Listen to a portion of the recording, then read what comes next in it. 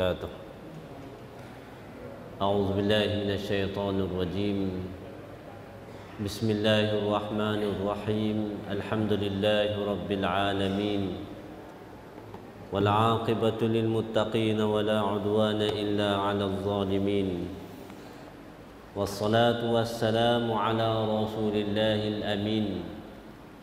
سيدنا وحبيبنا ومولانا محمد وعلى آله وصحبه ومن دعا بدعوته واستنى بسنته إلى يوم الدين.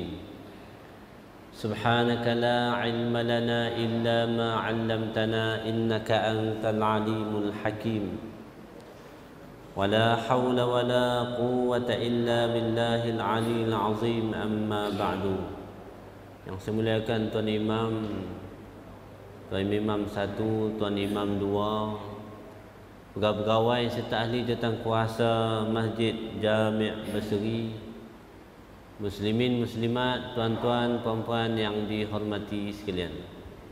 Alhamdulillah Pertama kalinya kita panjatkan setinggi-tinggi kesyukuran kepada Allah Subhanahu taala pada malam ni dapat sama-sama sekali lagi kita hadirkan diri kita ke rumah Allah Subhanahu wa taala. Tempat yang amat mulia. Tempat yang ada di dalamnya ketenangan. Tempat yang ada di dalamnya hati-hati yang ikhlas berubudiyah kepada Allah Subhanahu wa taala.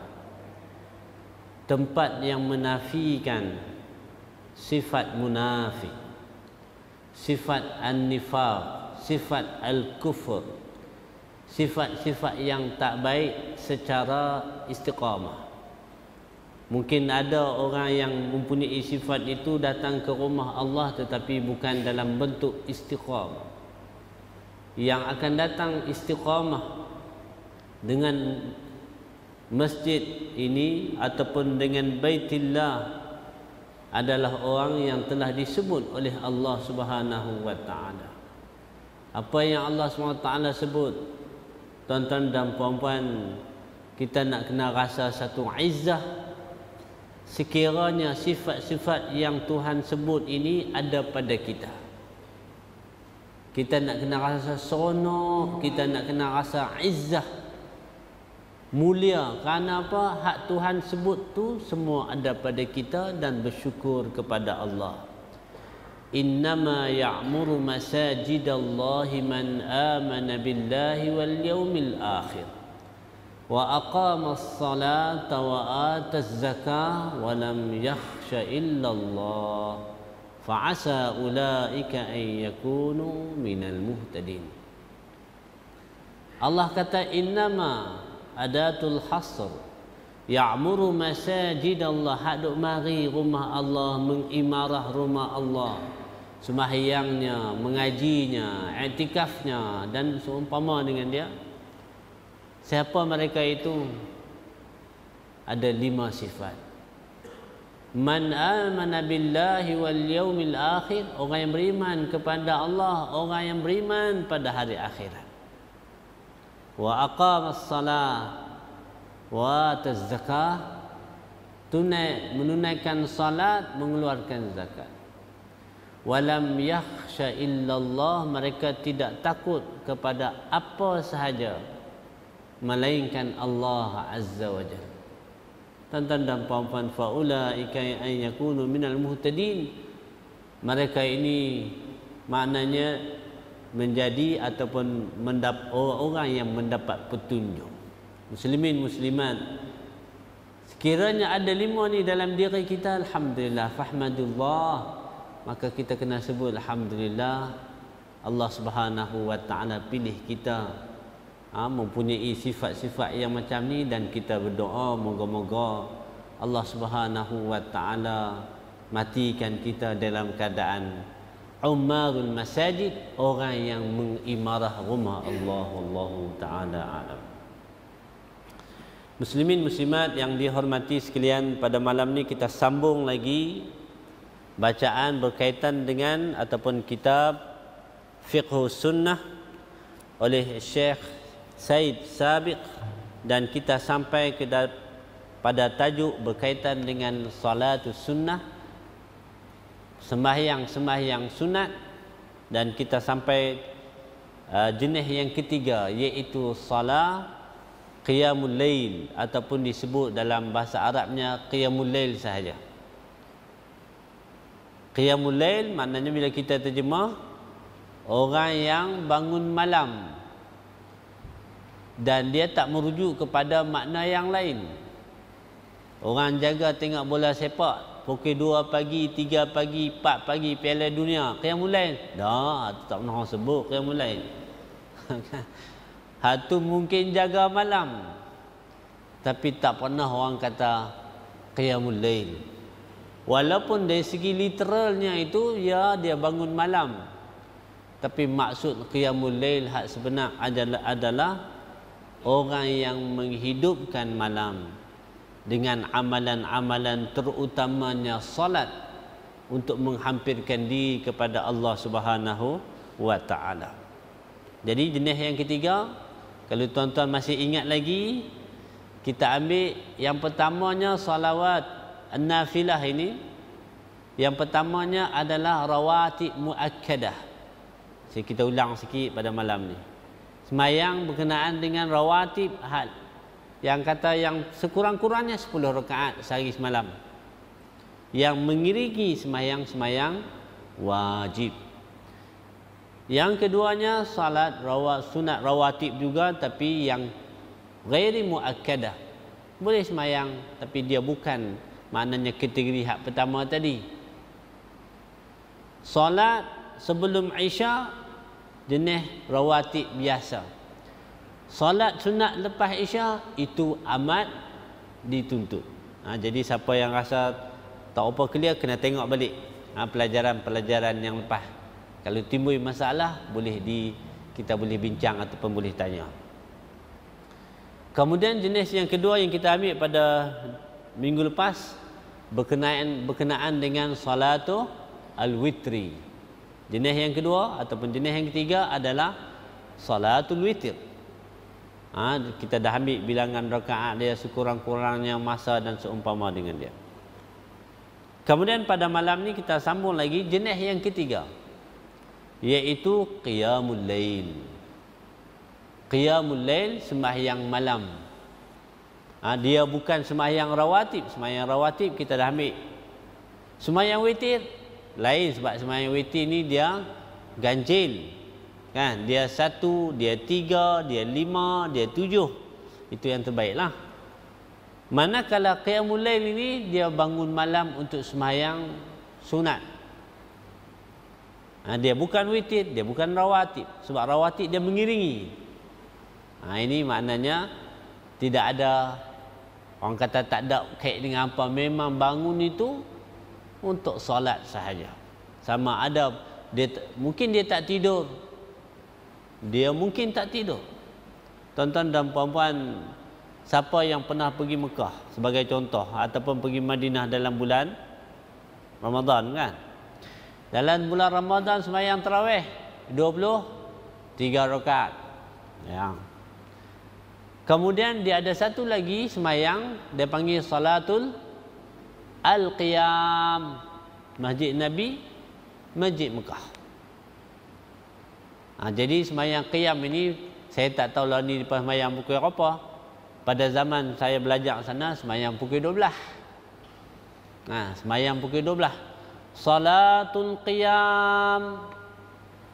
Ataupun Salatul Jami'ah. Dia umum di masjid Bangun. Tidak lagi. Tak lena lagi Tuan-tuan dan puan-puan. Orang Arab kan lena lagi waktu tu. Segak bugak lagi. Jadi kita pun tak lena juga. Semayang qiyam habis pukul apa? Dekat pukul dua. Ha, tu sepuluh rekaatnya tapi dekat pukul dua tuan-tuan dan perempuan jalan pun nampak tu pening dia tu ya. Orang Arab mungkin kuat kita ni. Baik. Kita akan tengok tajuk yang pertama dalam salatul qiyam adalah fadluhu berkaitan dengan kelebihan dia. Berkaitan dengan kelebihan salat malam ini dalam Quran dan juga dalam hadis. Ha, jadi maknanya fadilat kelebihan semayang malam ni Allah disebut oleh Allah disebut oleh Nabi sallallahu alaihi wasallam. Yang pertamanya amara Allah bihi nabiyahu faqal Allah suruh Nabi sallallahu alaihi wasallam. Allah suruh Nabi sallallahu alaihi wasallam ومن الليل فتهجد به نافلة نافلة لك عسى أن يبعث أن يبعثك ربك مقاما محمودا Allah kata kepada Nabi sallallahu alaihi wasallam dan sebahagian daripada malam min al-lail min lit-tab'id fatahajjad bihi nafilah lakukanlah salat tahajud ataupun salat. Ha, lakukanlah salat nafilatan sebagai tambahan. Maknanya bukan yang wajib. Asa an yab'athaka rabbuka maqaman mahmuda. Moga-moga Allah SWT mengangkat kamu ataupun mengangkat mengangkat kamu ke tempat yang terpuji. Tuan-tuan dan puan-puan hak ni Allah suruh Nabi sallallahu alaihi wasallam. Adakah dia ini untuk nabi saja? Ya, memang secara khasnya untuk nabi tetapi tuan-tuan dan puan-puan dia buku dia bukan satu amalan untuk nabi yang umat lain tak boleh buat. Ada khitab untuk nabi dan juga untuk ummah. Ada juga yang disebut sebagai khususiyah untuk nabi tak di-share oleh umat dia. Tuan-tuan dan puan-puan, manakala hak semayang malam ni? Semayang malam ni khitab untuk Nabi dan juga khitab untuk kita semua umat Muhammad sallallahu alaihi wasallam. Fatahajjad bihi nafilah laka asa an yab'atha an yab'athaka rabbuka maqaman mahmuda. Apa tujuan dia? Allah sendiri sebut Allah sendiri sebut tujuan sembahyang malam ini tuan-tuan dan puan-puan iaitu moga-moga Allah mengangkatmu ke tempat yang ter terpuji tuan-tuan dan puan-puan. Ah bukan sebarangan orang ni nak buat ni. Sebab tu siapa yang ada maknanya ada peluang, ada kekuatan, ada kelebihan, ada kemampuan buat tuan-tuan dan puan-puan. Cuma sekarang ni masa tu masa kita bincang kemudian kita nak ambil fadilat dulu. Ha? Jadi dalam hati kita kena buat waktu mana masa mana yang tu, yang tu kita bincang kemudian. Baik, itu yang pertama. Kemudian yang keduanya bayana yakni Allah Subhanahu wa taala menjelaskan orang-orang yang al-muhafizin ala qiyamihi humul al-muhsinun wal mustahiquna li khairihi wa rahmatihi. Allah kata, Allah terangkan orang yang jaga sembahyang malam ni bukan sembahyang fardu. Hak tu bab lain. Hak kita baca dalam surah Al-Mu'minun tu, ha, qad aflaha al-mu'minun tu, hak tu bab sembahyang fardu. Hak ni memang hak sembahyang sunat. Orang yang jaga orang yang jaga sembahyang sunat pada waktu malamnya. Tuan-tuan nak bubuh nama tahajud ke, tuan-tuan nak bubuh nama qiyam ke, tuan-tuan nak bubuh sembahyang apa lagi, tuan-tuan dan puan-puan, nama. Tak ada masalah. Yang pentingnya sembahyang tu. Sebab kadang-kadang nama ni macam-macam. Ada orang kata sembahyang tahajud. Ada orang kata sembahyang qiyam. Tuan-tuan dan puan yang pentingnya kita solat. Ini sebagai satu solat sunat, sebagai satu sunnah yang diajar oleh Nabi SAW. Jadi Allah terang kepada kita, Allah terang kepada kita siapa yang boleh jaga pelihara ibadat waktu malam ini humul muhsinun mereka itulah orang-orang yang aman amat baik orang yang ihsan Apa makna ihsan an ta'budallah ka'annaka tarahu fa in lam takun tarahu fa innahu yaraka. Ini orang yang ihsan ni. Orang yang ihsan ada dua jenis. Zaman kita ni orang ihsan. tak ada lah orang ihsan tu. Orang yang ihsan apa makna ihsan Allah kata an ta'budallah kamu sembah Allah ka'annaka tarahu seperti seolah-olah kamu nampak Allah SWT. Dan fa ilam takun tarahu sekiranya kamu tak sampai peringkat itu fa innahu yaraka. Kita nombor satu, nombor dua letak masing-masing lah. Nombor dua pun dah kemah dah tuan-tuan dan puan-puan yakni kita fa illam takun tara fa innahu yaraka yakin betul-betul Allah duk tengok kita. Itu paling kurang martabat ihsan tuan-tuan paling kurang martabat ihsan hak tu pun tinggi dah. Nak pegang hak orang tak berani tuan-tuan beli cucuk Kadang-kadang kita pakai hukum kita ya. Tak tanya apa penjual itu. Penjual pula pakai bubuh ya. Berapa? Seringgit. Seringgit. Tiga ringgit. Tiga ringgit. Sedangkan bilangan kuih itu ada tempat empat biji seringgit. Ada tempat tiga biji seringgit. Ada tempat dua biji seringgit. Kita duk hukum tempat kita empat biji seringgit.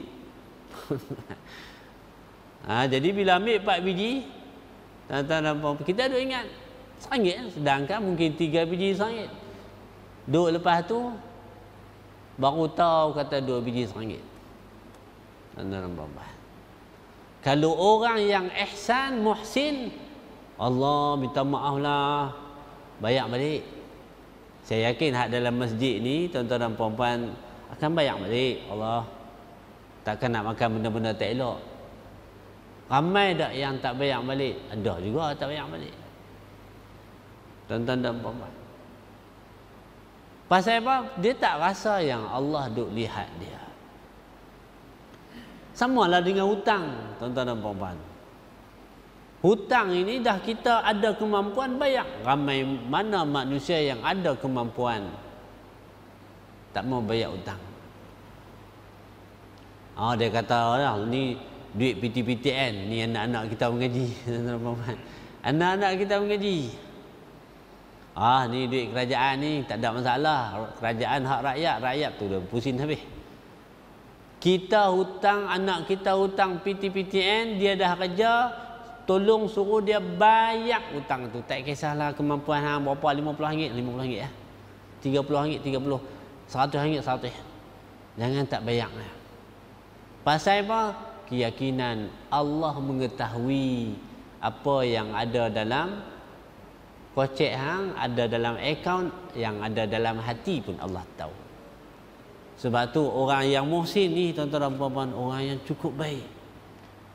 Orang inilah yang yang Nabi yang Allah SWT puji mereka salah satu sifat mereka ini adalah jaga sembahyang malam. Tuan-tuan dan puan kita tengok ayat Al-Quran Karim.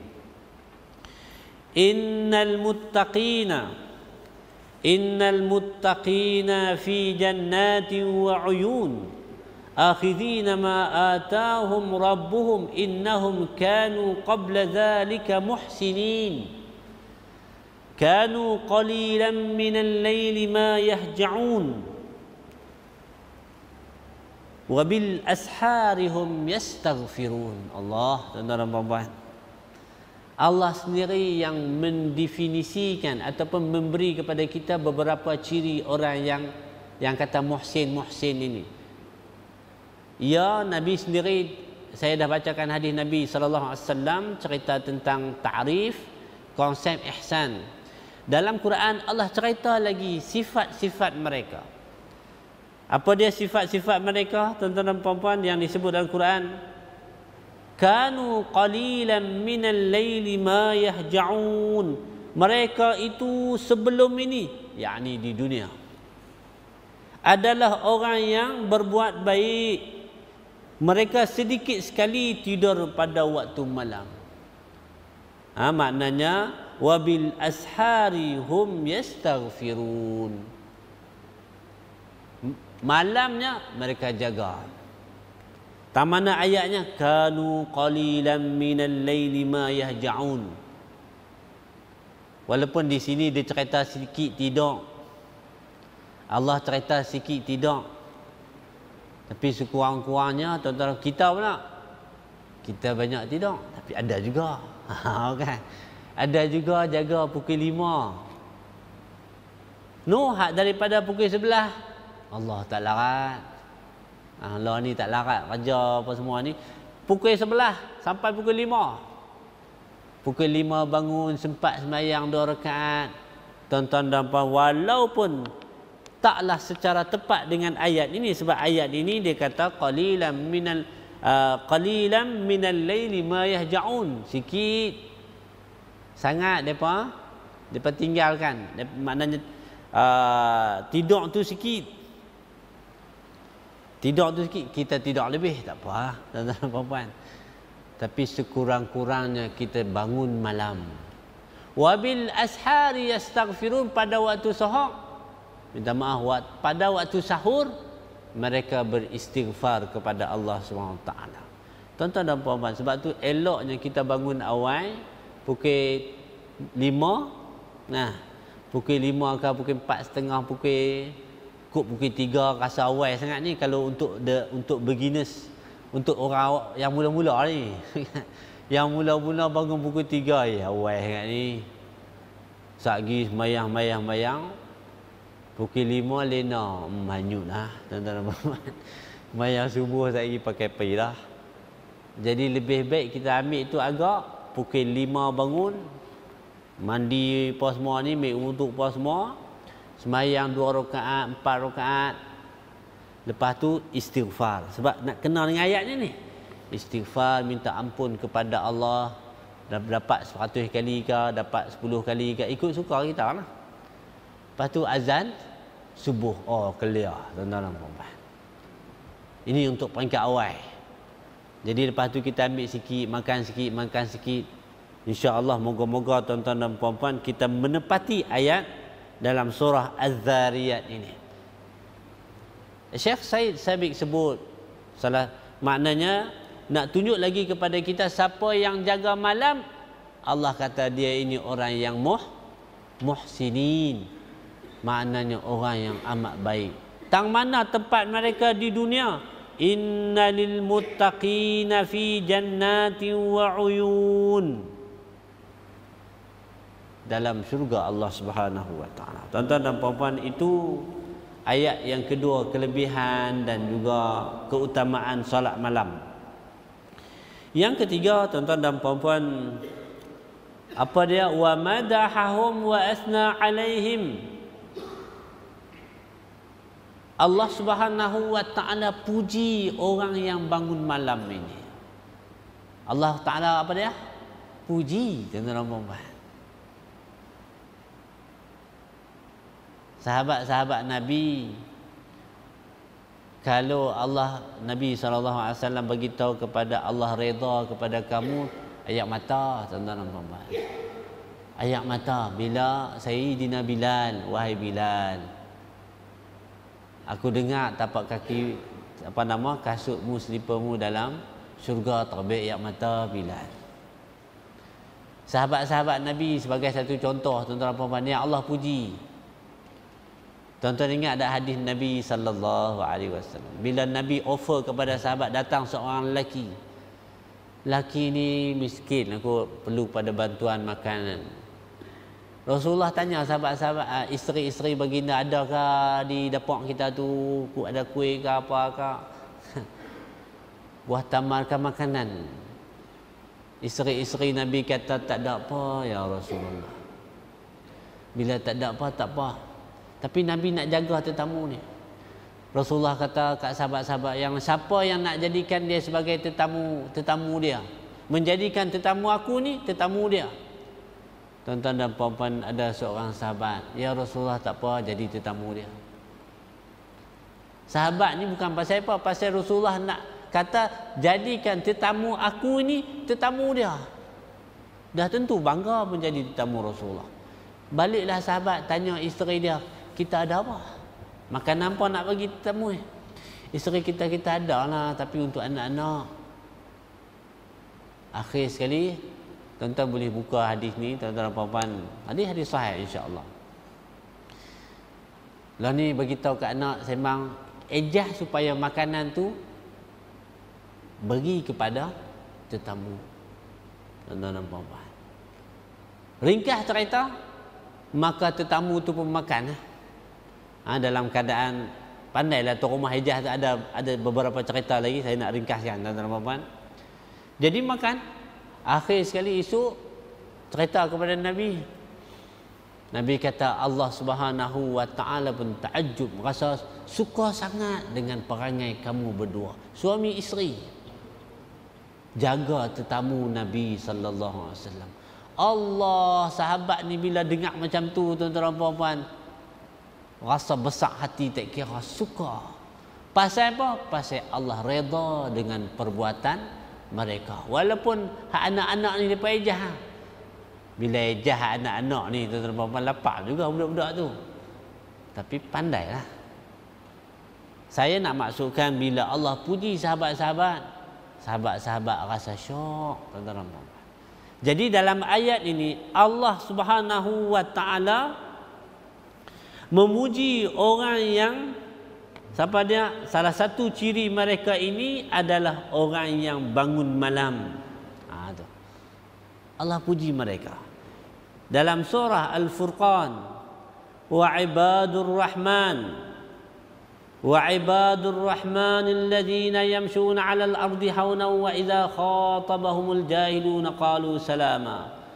والذين يبيتون لربهم sujadan wa qiyama. Tang mana yang kata Allah puji Allah kata ibadur rahman. Allah kata depa ni adalah hamba-hamba kepada yang maha pemurah. Siapa dia hamba-hamba yang maha pemurah? Siapa dia yang maha pemurah? Allah. Allah puji tuan-tuan salah satu sifat mereka mereka menghabiskan walladzina yabituna li rabbihim sujadan wa qiyama mereka ni maknanya duduk. Ya bitun duduk dalam rumah itu.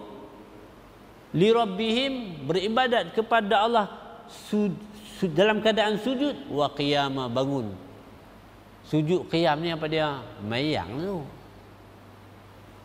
Sebahagian daripada sembahyang dan tuan-tuan tengok sujud dan qiyam ini maksudnya apa sembahyang. Tapi kenapa disebut sujud dengan qiyam? Sebab dua amalan ini adalah amat amalan yang amat amat elok kita ketika mana kita sembahyang. Batu ulama khilaf antara sujud dengan qiyam hak mana lebih afdal antara sujud dengan qiyam hak mana lebih afdal? Tuan-tuan dan puan ada ulama kata sujud. Ada ulama kata qiyam. Sujud kita jumpa hadis-hadis Nabi SAW berkenaan dengan dekatnya kita dengan Allah SWT qiyam pula. Qiyam ni tuan-tuan tengok dalam sembahyang amalan uh, amalan ataupun rukun sembahyang yang mana yang kita baca Quran Tang lain tak ada tuan-tuan perempuan. Ya. Tang tiam ya. Kita baca Quran. Tang lain tu doa, zikir. Tapi tang qiyam kita baca Quran tuan-tuan perempuan. Tang tu khilaf. Jadi kita ambil dia dua kali senang. Dan Allah sendiri sebut dua-dua amalan ini dikira sebagai sembah ya. Tuan-tuan dan puan Allah puji mereka orang yang sembahyang malam banyak tak kira lah dia panjang ke pendek ke cuma di sini tuan-tuan dan puan-puan dalam hadis-hadis yang lain sembahyang sunat ni eloknya adalah qiyamnya panjang sembahyang sunat pasal apa qiyam pasal kita sembahyang seorang-seorang nah Satu rakaat. Rakaat pertama surah Baqarah. Nah, seorang-seorang kita tak ada masalah apa. Kalau semayang dengan isteri agak-agak lah. Isteri pula duk mengandung. Oh, dia bubuh satu surah Baqarah tuan-tuan puan Ngamuk isteri belakang. Agak-agak lah. Baca kuliah, baca kulu Allah. Hmm, jalan. Ha, jadi kalau semayang jemaah, tengok-tengoklah kurang-kurangnya kita kata kalau nak panjang pun dua buka surat satu rakaat kira okey lah kalau belakang tu orang yang ni kalau hak biasa-biasa satu muka okey lah. Tuan-tuan dan puan-puan yang pentingnya semayangnya panjang pendek tu tak apa ada masalah sangat. Muslimin muslimat itu Allah puji. Kemudian kita ambil lagi tuan-tuan dan puan-puan banyak cuma kita ambil beberapa sahaja. Yang ketiganya ataupun yang keempatnya Allah SWT puji. Allah SWT saksikan orang yang bangun malam ini adalah orang yang beriman. Maksudnya apa? Orang yang bangun malam Allah jauhkan dia daripada sifat munafik. Apatah lagi kufur Allah jauhkan. Tuan-tuan kita boleh fikir dengan dengan kepala otak kita pasal apa Allah jauhkan bangun malam. Orang munafik dia semayang pasal apa? nak tengok nak bagi orang tengok nah nak bagi orang tengok riak hak bangun malam pukul 4 pagi pukul 5 pagi siapa nak tengok? Siapa nak tengok tuan-tuan dan puan jadi tak ada siapa tengok duduk di rumah kita tak ada siapa tengok. Harap isteri nak tengok isteri menguruh tidur. Kan? Jadi maknanya confirm lenor sakan Hak isteri semayang Suami Allah Tak tahu duk tu Jatuh kati tu Tak sedap apa-apa Lena sekan Ha tu siapa nak tengok? Tak ada siapa nak tengok. Jadi Kalau orang munafik Tobat tak semayang lah. Kalau orang munafik Nak main masjid pun tanya. Ha, Nak tanya YB mari. Oh tak ada. Program ni tak ada YB Oh tak apa. Terima kasih. Press mari? RTM mari? Tak ada harap Facebook lah. harap rakaman Facebook lah. Oh, hati tak ya. Kalau hati hak tak elok macam tu. Jadi hak bangun malam ni tuan-tuan dan puan-puan tak ada. Dia bangun tu memang kerana Allah. Maka Allah Subhanahu Wa Taala puji innama yu'minu innama yu'minu bi ayatina alladhina idza dhukiru biha kharru sujjadan wa sabbahu bihamdi rabbihim wahum la yastakbirun. Sesungguhnya ha ni tuan-tuan puan cara innama adatul hasr. Sesungguhnya sesungguhnya yang beriman kepada ayat-ayat kami yang beriman kepada ayat-ayat kami bila dibacakan ayat-ayat Allah Subhanahu wa taala tuan-tuan dan puan-puan kharru sujada mereka itu turun mereka itu sujud kepada Allah Subhanahu wa taala. Kemudian ada lagi ini surah yang selalu kita dengar tuan-tuan dan puan-puan surah As-Sajdah. Tatajafa junubuhum 'anil madadi yad'una rabbahum khaufan wa tama'a yang saya nak ambil yang disebut oleh uh, Syekh Said Sabik dia kata apa? Allah mempersaksikan orang yang bangun malam ini dengan iman jadi kalau boleh bangun malam tu tu yang seperti mana saya sebut dalam mukadimah tadi Allah sebut tentang hak, hak tadi innama ya'muru masajid Allah maknanya orang yang mengimarah hanya sahaja pengimarah rumah Allah ada lima benda ni. Hak ni pula hanya sahaja Allah SWT bagi sifat keimanan ini kepada siapa? Kepada oh, antaranya kepada mereka yang maknanya bangun malam tatajafa junubuhum anil madaji maknanya rusuk mereka ni jauh daripada tempat lena. Ah tu kalau bahasa ni lah maknanya apa tak lena lah. Rusuk dia tu badan dia jauh daripada tilam jauh daripada lembek, jauh daripada kati. Jauh lepas tu dia buat apa? Orang ni buat apa? Yad'una rabbahum khaufan wa tama'a yakni berdoa kepada Allah, sembahyang kepada Allah dalam keadaan takut, dalam keadaan mengharapkan kebaikan daripada Allah Subhanahu wa taala. Tuan-tuan dan puan kalau kita bangun malam kita akan rasa Allah puji kita. Maka tentu kita nak kena kata apa? Alhamdulillah ya Allah, jadikanlah sifat ini berterusan sampai kita mati. Tuan-tuan dan puan-puan saya terus ke hadis Nabi sallallahu alaihi wasallam ada lagi ayat tapi kita kita ambil hadis pula iaitu keutamaan-keutamaan kelebihan-kelebihan yang disebut oleh Nabi oleh Nabi sallallahu alaihi wasallam. Tadi yang disebut oleh Allah cukuplah tuan-tuan dan puan-puan. Masya-Allah banyak Allah SWT puji orang yang bangun malam ni. Baik, kita pergi kepada hadis Nabi sallallahu alaihi wasallam. Kelebihan semayang malam. Daripada Abdullah Ibnu Salam Hadis ni agak panjang tuan-tuan puan-puan saya ringkaskan.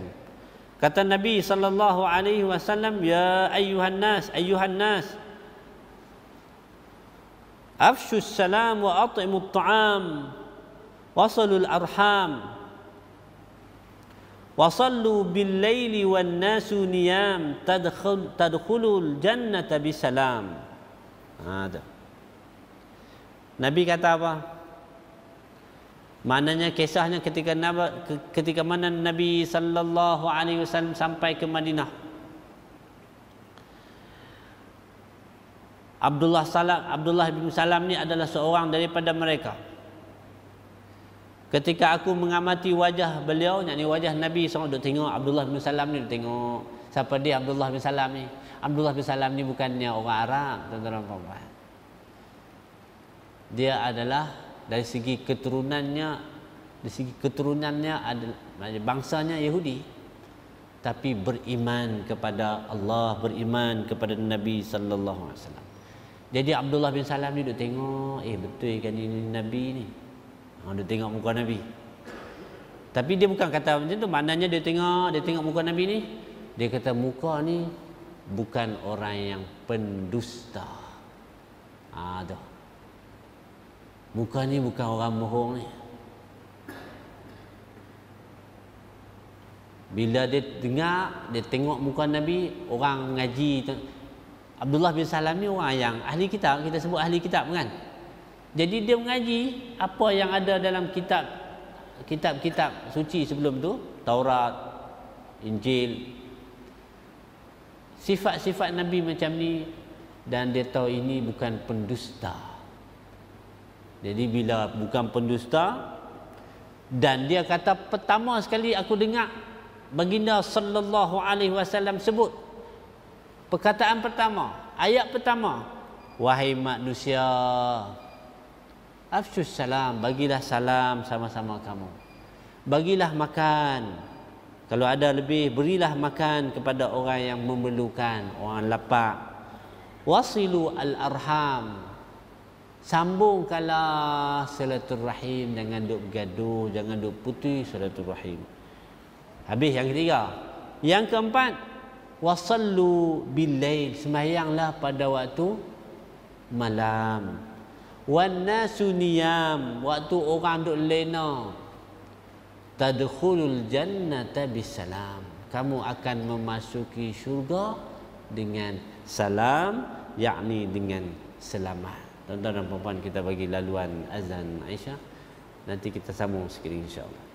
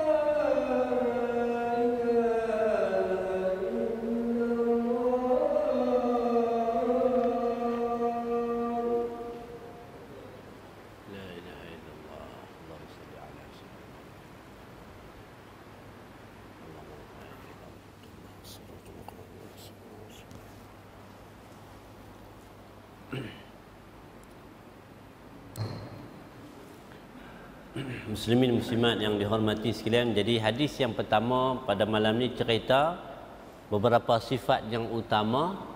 Salah satunya apa? Wasallu bil lail mereka tu sembahyang pada waktu malam, waktu orang lena. Jadi dah tentu buat sembahyang sunat dan kamu akan masuk ke dalam syurga Allah SWT dengan selamat. Hadis yang pertama. Hadis yang kedua pada malam ni kata Nabi sallallahu alaihi wasallam alaikum bi qiyamil lail fa innahu dabus salihin qablakum wa maqrabatun lakum ila rabbikum wa mukaffirun lisayyi'at wa manhatun 'anil ithim wa muttariratun lidda' 'anil jasad. Tuan-tuan dan puan-puan Nabi kata hendaklah kamu buat ataupun mengerjakan qiyamul lail. Nabi pesan kepada kita. Dalam bahasa Arab, alaikum biqiyamul lail maknanya kamu kena sembahyang qiyamul lail. Kerana amalan qiyamul lail ini adalah kebiasaan orang-orang yang saleh sebelum kamu. Nabi cakap kat sahabat tu maknanya sebelum sahabat siapa dia? Orang soleh daripada umat yang terdahulu. Kalau kita lah ni orang-orang soleh sebelum kita para sampailah ulama-ulama para tabi'in para tabi' tabi'in para sahabat dan juga orang-orang soleh di kalangan umat-umat yang terdahulu. Ini amalan biasa orang soleh. Jadi kalau kita nak jadi orang yang saleh, alaikum biqiyam kena qiyamul lail pasal apa 20 tahun lagi 30 tahun lagi 100 tahun lagi kalau tak kemat 100 tahun saya takkan nak duduk 100 tahun lagi? Umur lah ni pun 50 takkan 150 tahun? Agak-agak lah kan cicit cucu cicit kata dulu tok wan. Tok wan kita dulu Allah alhamdulillah. Baik dia duduk amai mayang malam walaupun dua rakaat ya. Tuan kita tu okeylah tuan-tuan perempuan dua rakaat. Kurang-kurangnya kita bukan nak cucu cicit kita. Puji dah tapi tuan-tuan dan puan bila dia sebut tok wan kita dulu duk qiyamul ayah bagi tahu ayah kita bagi tahu tok wan dulu Allah makna sekurang-kurangnya adal alal khair kafa'ilihi orang yang tunjuk jalan baik pun dia main dua rakaat ya. Seperti mana orang yang buat. Jadi anak cucu ni ambil benda ni warisi ilmu ni daripada tok wan dia. Tok wan dia duduk dalam kubur kelia elok. Siapa dia tok wan dia tu? Harap-harap kita lah. Harap-harap kita. Baik. Pasal dia amalan orang salih dan qiyamul lail juga wa maqrabatul lakum ila rabbikum dia mendekatkan diri kita kepada Tuhan oh waktu malam tuan-tuan dan puan Allah dia tak sama macam main tarawih kan? Main tarawih pun dikira sebahagian daripada qiyam juga. Tapi mingin ramai-ramai ni sat menjerit sana sat menjerit sini budak-budak. Pum meletup racun. Dalam hati tu macam-macam. Tapi main dengan waktu pukul 5 pagi Meracun pun tak terlarat nak bunyi lah Nah, sunyi kita dengan Allah Subhanahu Wa Taala. Jadi dia dekat dengan Allah Taala. Semayang malam itu mukafir sayiat menghapuskan dosa-dosa kejahatan-kejahatan. Dan juga wa wa muttaridatun lidda menjauhkan penyakit daripada diri kita. Penyakit badan ni penyakit badan. Ha, yang tu betul tak betul tuan-tuan puan-puan? Allah tak ada satu pun doktor yang kata bangun bangun awal-awal ni tak elok untuk badan. Ha, kan? dia doktor kata tidak lewat ya tidak lewat tak elok untuk badan. Tapi kalau ada doktor kata pak cik ni bangun awal sangat ni tak elok. Ha, doktor tu tak tahu nak abak ha, tuan-tuan puan Tuan-tuan try tanya doktor lain supaya pasti betul-betul. Betul ke doktor ni ha. Cerita tak boleh tak elok bangun pukul 5 pagi pagi. Ha tu nak bangun pukul apa? Pukul 9 pagi. Hai doktor ni main kok mana ni? Tuan-tuan dan puan-puan setakat maknanya kita yakin 100% apa yang Nabi ajak adalah segala-galanya benar dan terbukti benar. Tuan-tuan dan puan-puan, hadis yang terakhir saya ringkaskan saja. Pasal hadis ini seronok uh, cerita the best. hadis yang terakhir. Salasatun yuhibbuhumullah ada tiga golongan yang Allah suka wa yadhaku ilaihim. Yadhaku ni Allah gelak. Allah bukan sekadar suka, Allah gelak. Tuan-tuan dan puan-puan, bagaimana Allah gelak? Laisa kamislihi syai. Tak menyerupai makhluk apa-apa pun. Jadi kita pun tak tahu. Cuma kita tahu gelak ini kalau manusia ni tanda amat suka. Jadi maknanya Allah amat suka. Allah gelak macam mana? Laisa kamislihi syai wallahu taala alam. Baik. Allah suka amat suka kepada tiga golongan. Golongan yang pertama, golongan yang berperang. Sampai peringkat berpecah pasukan dia, maknanya mungkin diserang hendaklah. Akhir sekali dia berperang. Walaupun nampak-nampak gaya berat cerita ni nak, nak menang dalam peperangan. Tapi dia berjuang juga kerana Allah subhanahu wa ta'ala. Maka Allah suka sungguh orang macam ni. Dia berjuang walaupun Nampak gaya tak lipi dah ni. Tak lipi dah. Tapi lawan juga. Pasal dia berjuang untuk Allah. Bukan untuk kemegahan dunia. Hak ni Allah suka. Golongan yang kedua. Golongan yang ada. Golongan yang saya ambil. Saya, golongan yang ada isteri. Mananya lelaki yang ada isteri. Isteri pula Nabi kata hasanatun. Oh comel. Ha, isteri comel elok. Kati pula. Kati pula lain lembut elok. Ha, ni ni macam orang baru kahwin ni. orang baru kahwin. Perempuan elok. Ha, ha, lama kahwin pun elok juga. Pak, apa nama kati pun elok